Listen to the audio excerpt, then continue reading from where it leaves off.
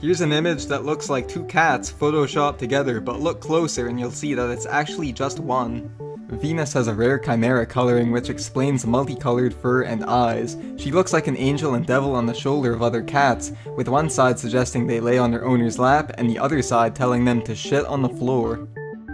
9. A man in Germany is breeding enormous rabbits for food, with the breed appropriately being named Grey German Giants. The one I'm showing you right now is named Rudy, and he weighs an astonishing 19 pounds. 8. Bergamasco shepherds were herding dogs bred exclusively for the freezing cold Alps and evolved to have dreadlocks spread across their entire body.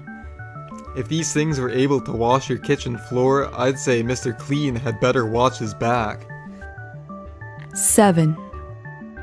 This pink dolphin has a condition attributed to its unusual color called albinism, which makes it look like a thousand pound tongue. The Amazon River dolphin and Chinese white dolphin don't have albinism and are still naturally pink, although that doesn't make me any less creeped out. 6. This is Wendy, a dog from British Columbia who suffers from a rare genetic mutation that results in extreme muscle growth. Good luck trying to tell her she can't eat at the table. 5. Red-lipped batfish are sea creatures found in the Galapagos Islands, although they can't swim and mostly walk around on the ocean floor. The purpose of the bright-colored lips is supposedly to enhance species recognition during spawning. I would reconsider advising anybody to use one of these for a practice girlfriend as it always looks passive aggressive and would probably have a headache every night anyways. Despite their hostile looking face, red-lipped batfish are actually relatively harmless. Not that I suggest touching one, of course. 4. Matsuba koi are fish found in Japanese ponds and some of them have a human-like face.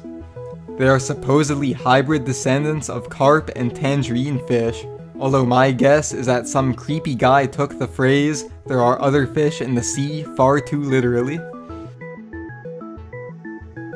3. Found off the coast of Tasmania and Australia, the blobfish was named rather appropriately as it really does look like a gigantic blob of flesh. The frown he's wearing is understandable for anyone whose mouth looks like a well, you know. 2. One downside of visiting Madagascar is the possibility of coming into contact with a type of lemur named the Ai, which sounds like the scream from somebody who found one of these in their living room. This ugly thing resembles Zoboomafoo after being banished to hell for all eternity. 1. Scientifically known as a Pyura chilensis and also called the living rock, this thing is an organism that looks like a mineral laying on a beach but is a real creature. They can be either male or female and reproduce on their own.